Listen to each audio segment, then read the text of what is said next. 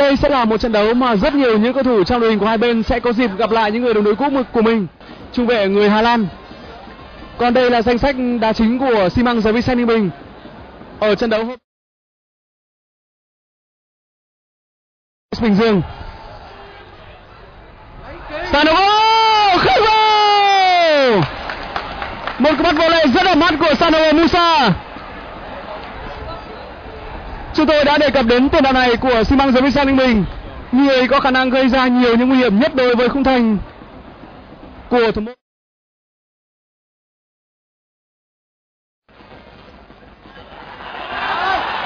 Sano Musa vẫn là cơ hội một không dành cho xi măng Vinh Ninh Bình đó là bàn thắng của Sano Musa cơ hội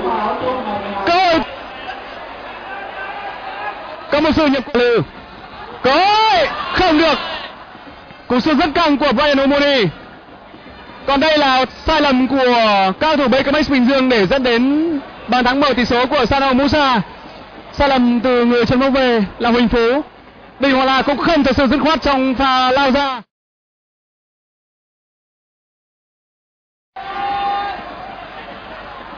Tăng Tuấn. Tỷ số một pha lập công tuyệt vời của Tăng Tuấn. Một cú sút phạt không chê vào đâu được nếu như Bình Dương đã bất ngờ có được bàn thắng sát bằng tỷ số từ một tình huống cố định. Một cú đá phạt tuyệt vời của Tăng Tuấn.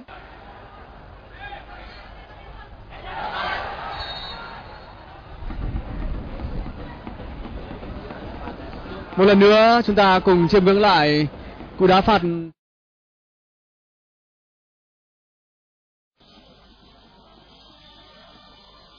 Hillary rất nguy hiểm tỷ số hai một dành cho Bạch Long Bình đó là pha công của anh Đức. Ấy Pilani và anh Đức cũng đã cho thấy được hiệu quả. Mà cụ thể nhất là việc hai đội này đã phối cùng nhau để giúp cho anh Đức có bàn thắng nâng tỷ số lên 2-1 dành cho đội chủ nhà. Một pha xoay người dứt điểm rất kỹ thuật của anh Đức.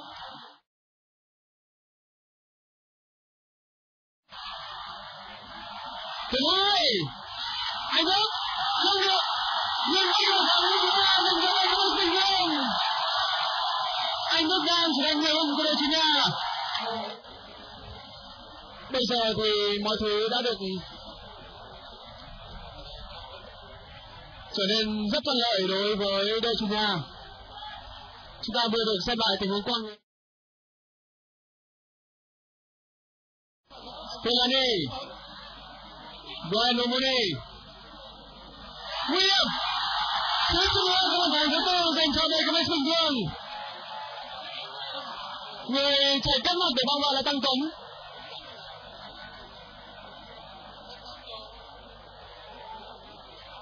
hãy cùng xem lại pha bóng này. Tăng Tuấn đang di chuyển rất khôn ngoan. Để lên giữ và